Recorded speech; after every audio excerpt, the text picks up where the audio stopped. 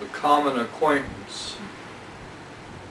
An innocent place turned into a lengthy stare, turned into an intimate conversation, turned into a lover, turned into my hell, turned everything we had into nothing.